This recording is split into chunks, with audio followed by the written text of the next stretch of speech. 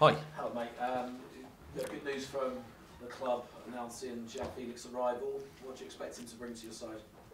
Well, he's, he's a quality player. Um, can make a difference in the final third of the pitch. Um, young, but has obviously still had a lot of um, really good experience.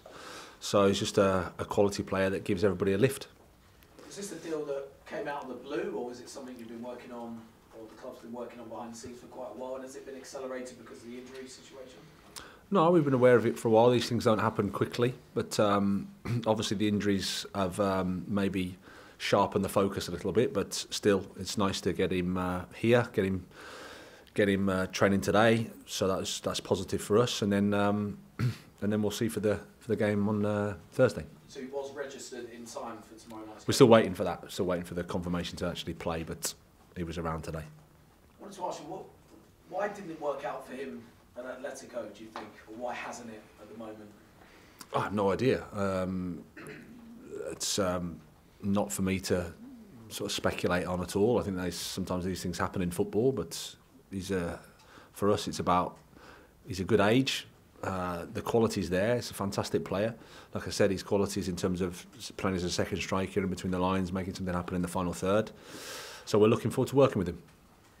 And transfer-wise, it's been a busy January transfer window so far for the club. What four new arrivals already? Is there still time for more to come in? Well, there's time, and, and whether whether we'll find the right players or not is another thing. But there's there's time. As I've said before, you have to look. You have to look in this window to make the the right decisions. But it isn't uh, straightforward because it's complicated. Um, we're we're happy with what we've done so far, but we'll keep we'll keep going to try and help the team. Now, build up to tomorrow. Have you got an update on team news? I know we were waiting to hear about Christian Pulisic, left for time, Raheem Sterling. Yep. Pierre's a back issue was in Mm. against Manchester City. What's the latest? No, Pierre's fine, so he'll be in the squad for the for the game. Um, Christian's a couple of months. We think uh, hopefully less, but that's time frame there. Uh, Raheem less, um, but still evaluating the the actual extent of it, but uh, hopefully less than that. other players likely to come return any sooner at all? No, I mean, we, we, making progress. Re, uh, Ruben's getting closer. Ben Chilwell's getting closer. Um, Reese was out in the grass today, uh, not training with the team, but training on his own. Um, Ngolo's first couple of days out on, on training on his own as well, but still got a long, long way to go.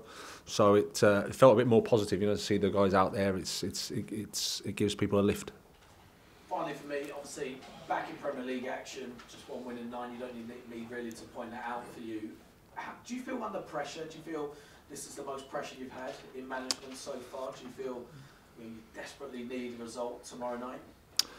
Well, I think you always feel pressure, um, and the higher you go, the more pressure there is from the outside, I guess, pressure, um, noise, whatever you want to describe it as. Um, and especially a, a club like Chelsea, the responsibility, the the history, the tradition of the club, uh, the demands of the club. Whenever you don't get the results that you that you want, then of course there's. Uh, there's there's noise, there's there's criticism, there's everything that you'd you'd expect. Then you just have to try to put it into perspective and try to keep going with your job and keep trying to improve and stay strong and get through.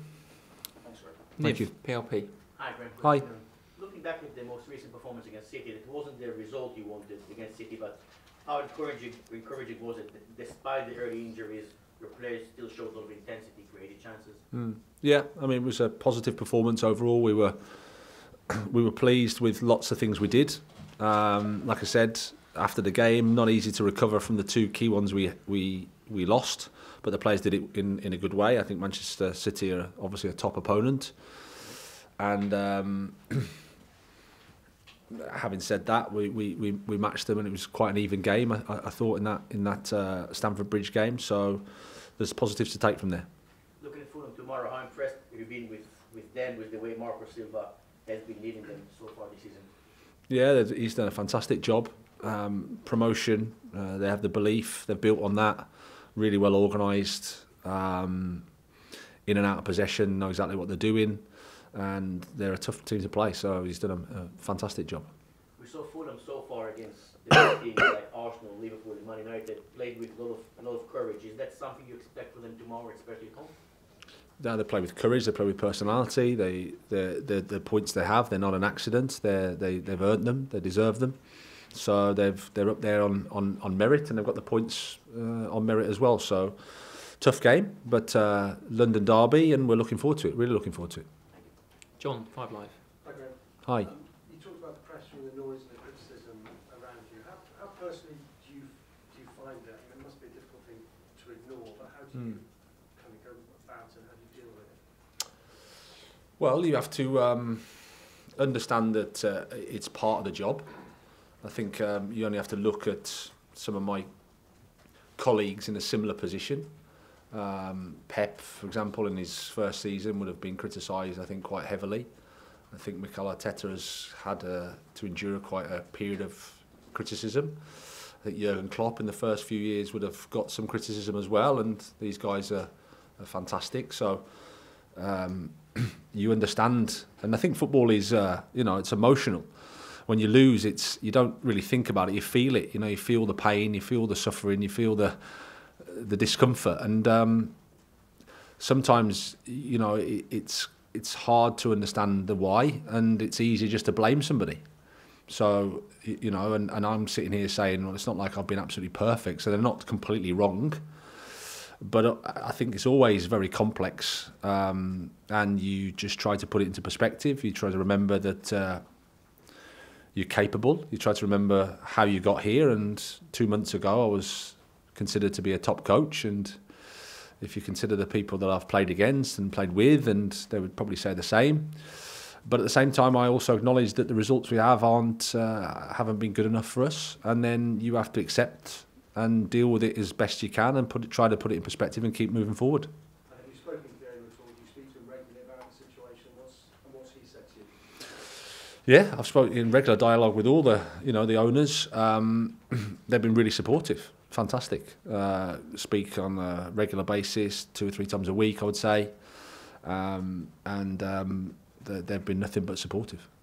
And is one of your big challenges trying to lift your players? Because I suspect confidence is now, and that lack of it, is a massive issue, isn't it?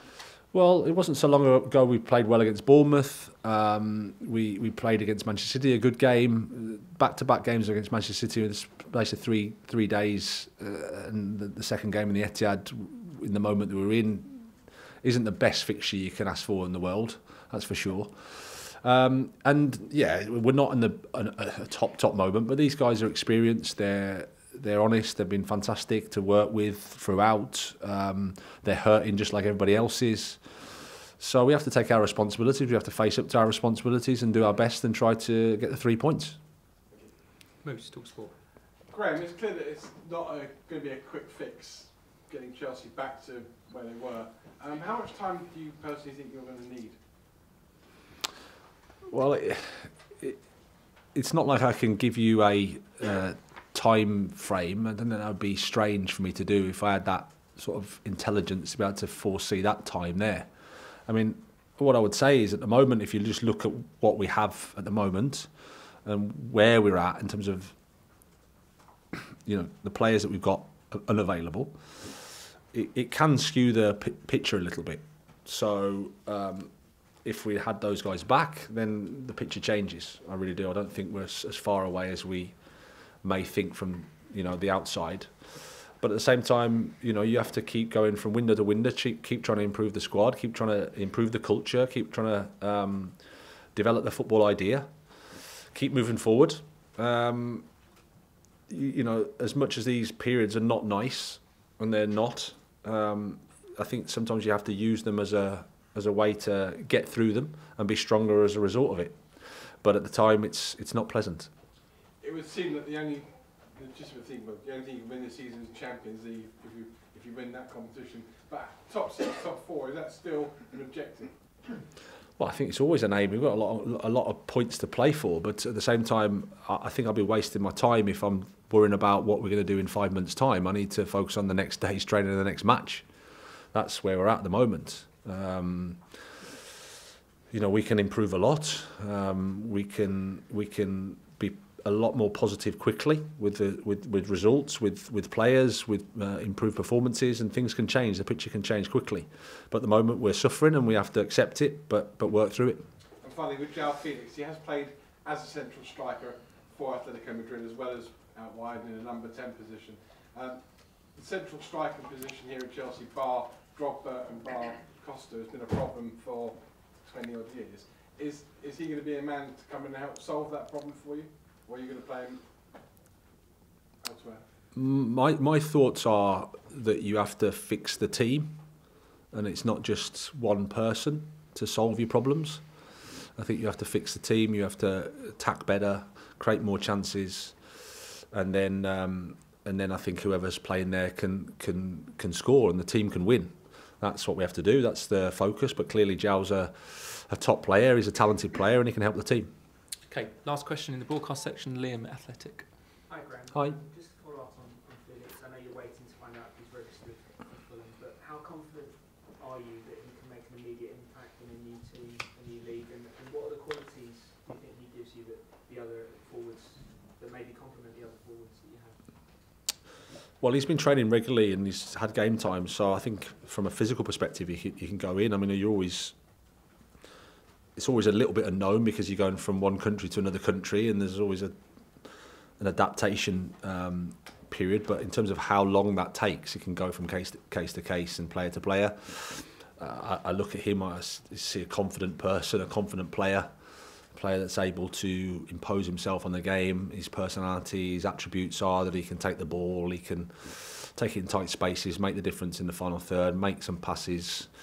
Um, I think he com- complements what we have as well. So he's a nice addition. We're look, really looking forward to working with him.